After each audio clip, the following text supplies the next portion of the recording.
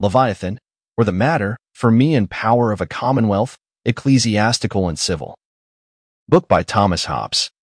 Narrated by Andrew. Originally published in 1651.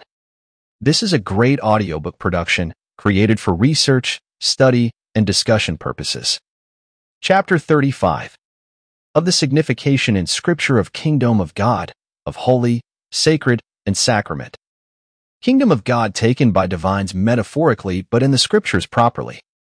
The kingdom of God in the writings of divines, and especially in sermons and treatises of devotion, is taken most commonly for eternal felicity after this life in the highest heaven, which they also call the kingdom of glory. And sometimes for the earnest of that felicity, sanctification, which they term the kingdom of grace, but never for the monarchy, that is to say, the sovereign power of God over any subjects acquired by their own consent, which is the proper signification of kingdom. To the contrary, I find the kingdom of God to signify in most places of Scripture a kingdom properly so named, constituted by the votes of the people of Israel in peculiar manner, wherein they chose God for their king by covenant made with him, upon God's promising them the possession of the land of Canaan, and but seldom metaphorically and then it is taken for dominion over sin, and only in the New Testament. Because such a dominion as that, every subject shall have in the kingdom of God, and without prejudice to the sovereign. From the very creation, God not only reigned over all men naturally by his might, but also had peculiar subjects, whom he commanded by a voice, as one man speaketh to another. In which manner he reigned over Adam, and gave him commandment to abstain from the tree of cognizance of good and evil which when he obeyed not, but tasting thereof, took upon him to be as God, judging between good and evil, not by his Creator's commandment, but by his own sense.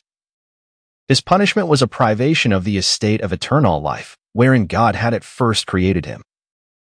And afterwards God punished his posterity for their vices, all but eight persons, with an universal deluge, and in these eight did consist the then kingdom of God. The origin all of the kingdom of God. After this, it pleased God to speak to Abraham and Gen. 17.7, 8, to make a covenant with him in these words, I will establish my covenant between me and thee, and thy seed after thee in their generations, for an everlasting covenant to be a God to thee. And to thy seed after thee, and I will give unto thee, and to thy seed after thee, the land wherein thou art a stranger, all the land of Canaan for an everlasting possession, and for a memorial and a token of this covenant, he ordaineth, verse 11, the sacrament of circumcision. This is it which is called the Old Covenant, or Testament, and condoneth a contract between God and Abraham, by which Abraham obligeth himself and his posterity in a peculiar manner to be subject to God's positive law, for to the law moral he was obliged before, as by an oath of allegiance. And though the name of king be not yet given to God, nor of kingdom to Abraham and his seed, yet the thing is the same namely, an institution by pact of God's peculiar sovereignty over the seed of Abraham, which in the renewing of the same covenant by Moses at Mount Sinai is expressly called a peculiar kingdom of God over the Jews, and it is of Abraham, not of Moses, St. Paul saith Rom. For point 1.1, that he is the father of the faithful, that is, of those that are loyal and do not violate their allegiance sworn to God, than by circumcision and afterwards in the new covenant by baptism, that the kingdom of God is properly his civil sovereignty over a peculiar people by pact. This covenant, at the foot of Mount Sinai, was renewed by Moses' Exodus. 19.5, where the Lord commandeth Moses to speak to the people in this manner, If you will obey my voice indeed, and keep my covenant, then you shall be a peculiar people to me. For all the earth is mine, and you shall be unto me a sacerdotal kingdom, and an holy nation. For a peculiar people, the vulgar Latine hath peculium de cunctis populis. The English translation made in the beginning of the reign of King James hath peculiar treasure unto me above all nations. And the Geneva French, the most precious jewel of all nations. But the truest translation is the first, because it is confirmed by St. Paul himself, Tit. 2.14, where he saith, alluding to that place, that our blessed Savior gave himself for us, that he might purify us to himself, a peculiar, that is, an extraordinary, people. For the word is in the Greek periousios, which is opposed commonly to the word epiousios, and as this signifieth ordinary, quotidian, or, as in the Lord's Prayer, of daily use. So the other signifieth that which is overplus and stored up and enjoyed in a special manner, which the Latines call peculium. And this meaning of the place is confirmed by the reason God rendereth of it, which followeth immediately, in that he addeth, For all the earth is mine, as if he should say, All the nations of the world are mine, but it is not so that you are mine, but in a special manner, for they are all mine, by reason of my power. But you shall be mine, by your own consent and covenant, which is in addition to his ordinary title, to all nations. The same is again confirmed in express words in the same text, You shall be to me a sacerdotal kingdom and an holy nation. The vulgar Latine hath it, regnum sacerdotale. To which agreeth the translation of that place, 1 pet. 2.9. Sacerdotium regale, a regal priesthood. As also the institution itself, by which no man might enter into the sanctum sanctorum, that is to say, no man might inquire God's will immediately of God himself, but only the high priest.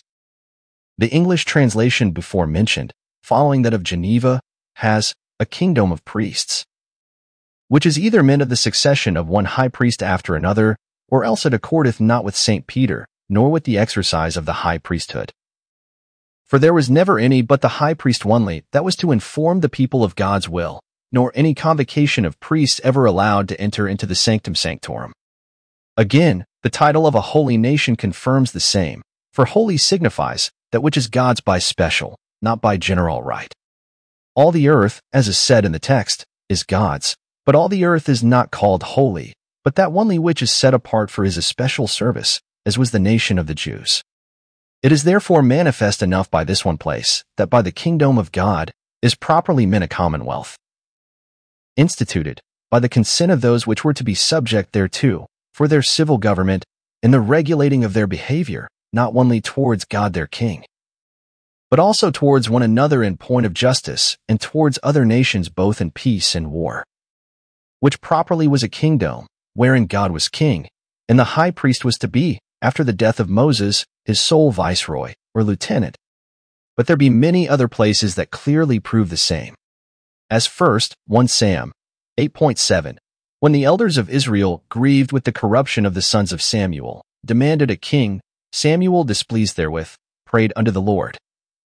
And the Lord answering said unto him, Hearken unto the voice of the people, for they have not rejected thee, but they have rejected me, that I should not reign over them, out of which it is evident that God himself was then their king.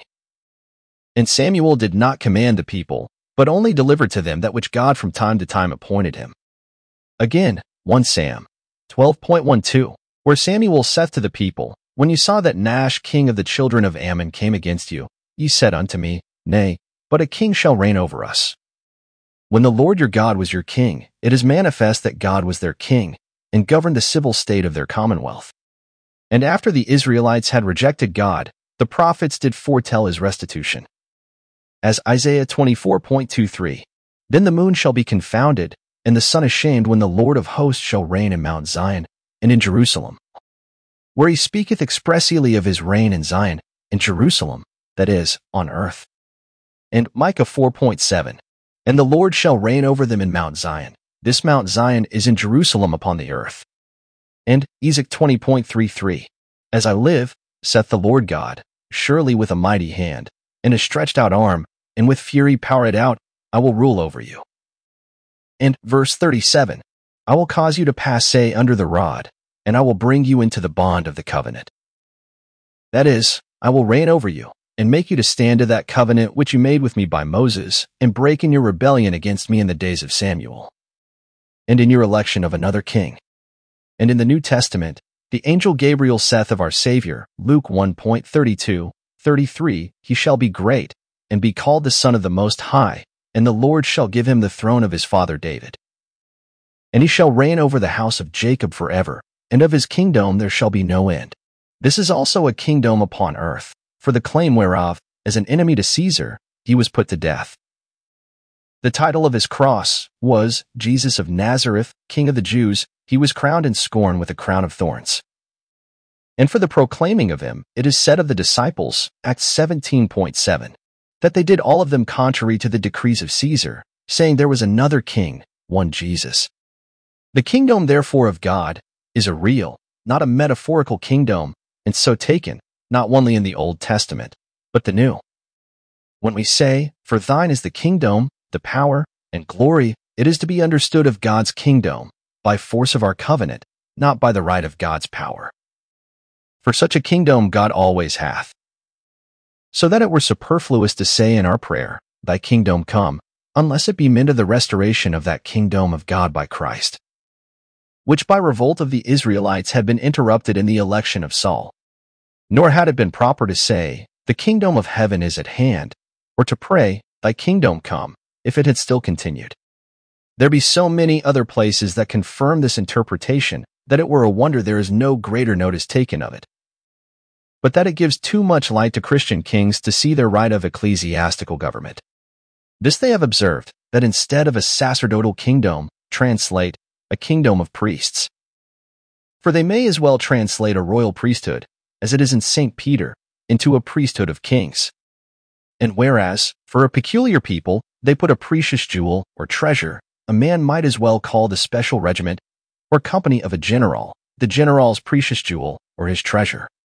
In short, the kingdom of God is a civil kingdom, which consisted, first in the obligation of the people of Israel to those laws, which Moses should bring unto them from Mount Sinai, and which afterwards the high priest of the time being should deliver to them from before the cherubims in the sanctum sanctorum, and which kingdom having been cast off, in the election of Saul, the prophets foretold, should be restored by Christ. And the restoration whereof we daily pray for, when we say in the Lord's Prayer, Thy kingdom come. And the right whereof we acknowledge, when we add a, for thine is the kingdom, the power, and glory, forever and ever. Amen. And the proclaiming whereof was the preaching of the apostles, and to which men are prepared by the teachers of the gospel.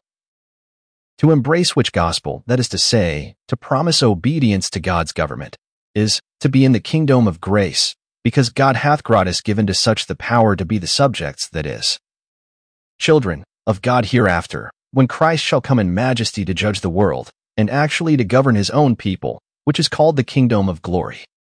If the kingdom of God called also the kingdom of heaven from the gloriousness and admirable height of that throne, were not a kingdom which God by his lieutenant or vicars, who deliver his commandments to the people, did exercise on earth, there would not have been so much contention and war about who it is by whom God speaketh to us. Neither would many priests have troubled themselves with spiritual jurisdiction nor any king have denied it them. Out of this leader all interpretation of the kingdom of God, ariseth also the true interpretation of the word holy. For it is a word which in God's kingdom answereth to that, which men in their kingdoms used to call public, or the kings. The king of any count ray is the public person, or representative of all his own subjects. And God the king of Israel was the Holy One of Israel. The nation which is subject to one earthly sovereign is the nation of that sovereign, that is, of the public person. So the Jews, who were God's nation, were called Exodus. 19.6 A holy nation. For by holy is always understood either God himself or that which is God's in propriety. As by public is always meant either the person of the commonwealth itself or something that is so the commonwealth's as no private person can claim any propriety therein. Therefore the Sabbath, God's day, is a holy day the temple, God's house, a holy house, sacrifices, tithes, and offerings, God's tribute, holy duties. Priests, prophets, and anointed kings, under Christ, God's ministers, holy men, the coelestial ministering spirits, God's messengers, holy angels, and the like. And wheresoever the word holy is taken properly, there is still something signified of propriety, gotten by consent. In saying, Hallowed be thy name, we do but pray to God for grace to keep the first commandment of having no other gods but him.